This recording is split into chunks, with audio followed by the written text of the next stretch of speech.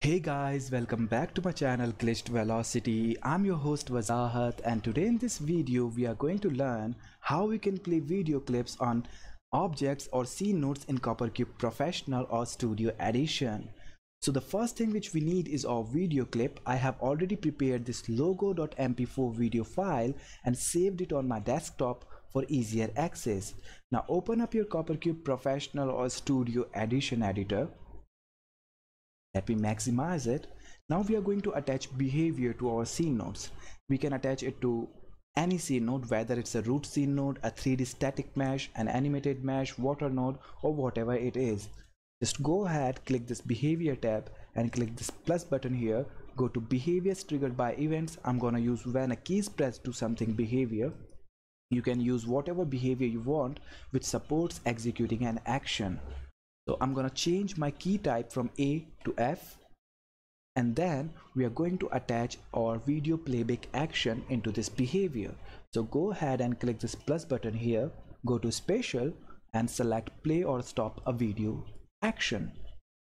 In this video file name section here, we need to provide our file name of the video along with the file extension so in my case it is logo.mp4 but in your case it can be anything like .flv .mkv .3gp or something else.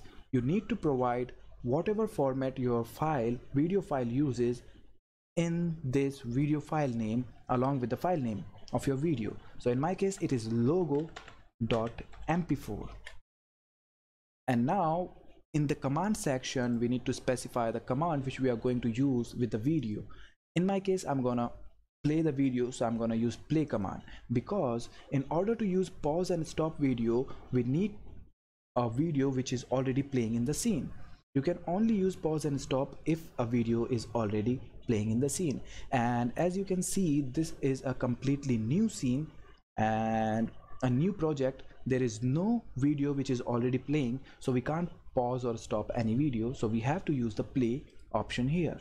And I want my video to be played continuously. So I'm gonna check this looped section here or you can say looped button here. And then we have to select our scene node at which we want our video to be played. So I'm gonna select this cube mesh here. I want my video to be played on this cube mesh. Then we have to specify the material index on which we want our video to be played.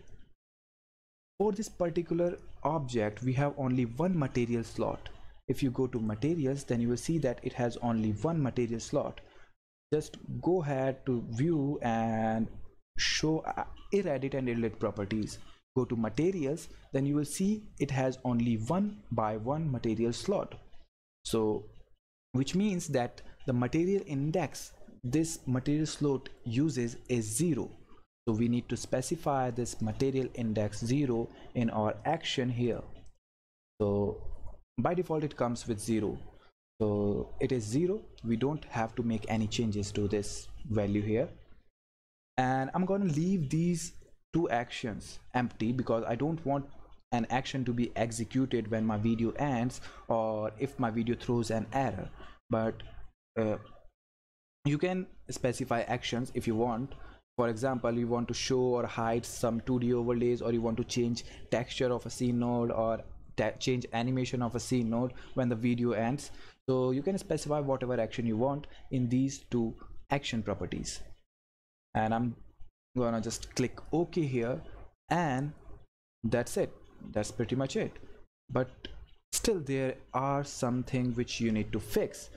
If i go to publish here and test my application as Windows exe and if I press F now then it throws me an error could not open video logo.mp4 and it throws me this error because in order to use this logo.mp4 video file I need to confirm that my project my CopperCube project and my video file resides in the same directory. Otherwise I have to provide full address of my video file. For example like this i have already copied or written this full address for my video file. And if your CopperCube project is in another directory and your video file is is in another directory and still you want to use that video in your project then you have to provide the full address of that video in this video file name.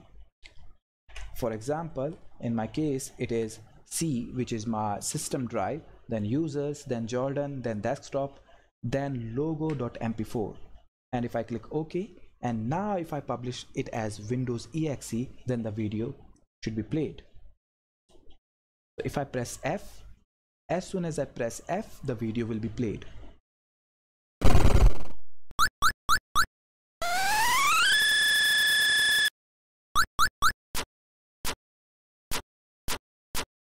So as you have seen, the video is played on all the sides of this cube because this cube has only one material index. So what if I want to play the video only on this side? and not on all the sides so what I can do is I can go to polygon editing tools then go select this triangles button here then select this select button here then hold down shift and left click and select these two triangles and apply a new texture just notice this material slot here as soon as I click this texture button here you will notice that the materials slots has been updated to 2 so now we have two material slot instead of one. If I go to materials tab here, then we will have two material slots here as well. So this is our material index 0 and this is our material index 1. So this is our material index 0 and this is our material index 1 and now we know that we want to play video on this side and this side uses material index 1 so what I can do is I can go back to my behavior here and in my action here where I have specified material index 0 I can change it to 1 material index 1 and if I publish the application now and if I press F then the video will be played on this side only. So as you have seen the video has only played on this side of this material or you can say of this cube. So that's how you can use material indexes to play videos on an object. But still there is something which I want to tell you if you don't want to use the full address of your project video file sorry if you don't want to use the full address of your video file but still you want the video to be played then you need to save your project first. Sometimes in new project you don't save it and you try to publish your test your application as windows exe platform. Then it throws an error that video could not be played because it is not specified or something like that. So in order to fix that you need to save your project in the same directory where your video file is residing. So in my case my video file is in, on my desktop. So I need to save my project on my desktop. So I'm gonna save it as test.ccb and in my behavior settings where we have supplied our video playback action I'm gonna remove this video URL or you can say video address and I'm gonna simply change it to logo.mp4 and now the video will still be played. If I test the application and if I press F key now then the video is still playing. As you can see the video is still playing and playing only on the material index 1 which we have specified in the action. And there is one more thing which you can do is you can play with material types here. You can change the material type to anything you want. For example if I use transparent add then the black color or you can say the black portion of my video will become completely transparent. If I press F now or you can say if I publish this as Windows application and if I press F now then you can see that the video which was showing previously black portion is now completely transparent. Only the white color is visible. To demonstrate it more correctly I'm gonna remove the default skybox and change it with this blue skybox so that you can see clearly what is happening in the video. So as you can see this is where this is the material with additive transparency. And if I press F now then you will notice that the black portion of the video is completely transparent. Let me just show you.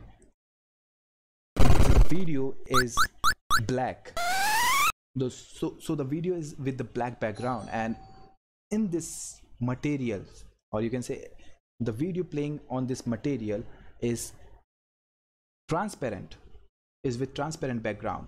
So there are cool things which you can do with materials in CopperCube. You can use normal map you can use solid fake reflective transparent fake reflective and whatever you want. And you will have these bunch of material types if you use irradiate and irradiate properties.